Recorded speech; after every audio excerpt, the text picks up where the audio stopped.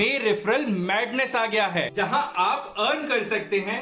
Thousand five आपको सिर्फ़ अपने फ्रेंड्स को शेड फैक्स में रेफर करना है। अगर आपके रेफरल ने 50 ऑर्डर्स कंप्लीट कर लिए तो आप अर्न करेंगे टू थाउज़ेंड रुपीज़ और 200 ऑर्डर्स कंप्लीट करने पर आप अर्न करेंगे थ्री थाउज़ेंड रुपीज़ बस आपके रेफरेंस के ऑर्डर्स फ़र्स्ट ऑर्डर डेट से 30 डेज़ के अंदर कंप्लीट होने चाहिए। टिल टेंथ में ओनली